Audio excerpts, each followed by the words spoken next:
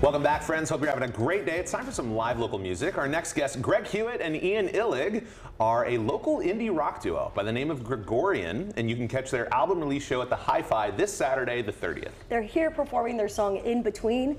Guys, take it away.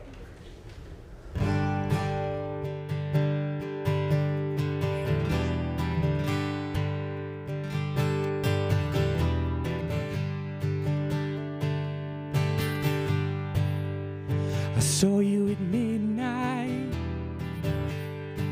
when I closed my eyes. I was holding both your hands. You were gone in the morning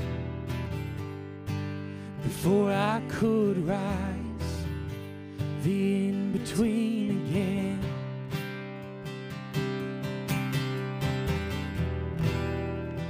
Maybe I'm growing young and found the sidewalk and the meaning of it all in the crux of time we spent.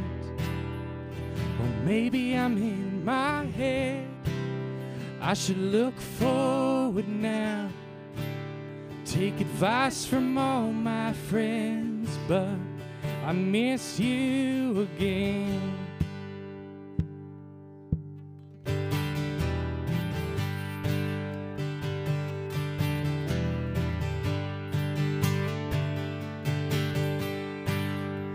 You found a new life, but we still eyes. The in between again.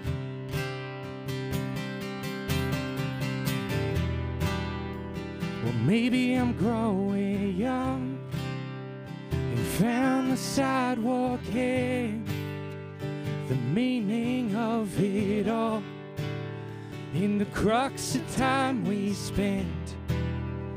Or maybe I'm in my head. I should look forward now. Take advice from all my friends, but I miss you again. I miss you again.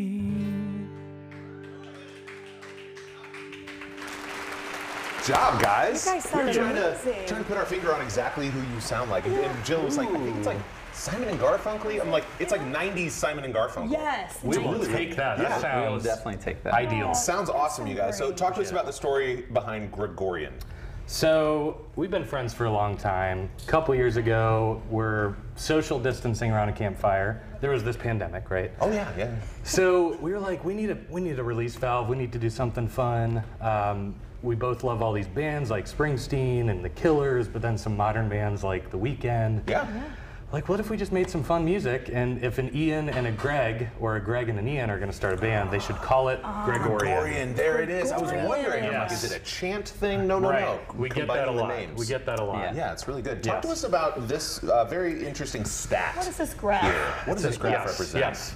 Uh, so we are not mathematicians, right? But we did a little analysis. uh, we're a brand new band here in Indianapolis.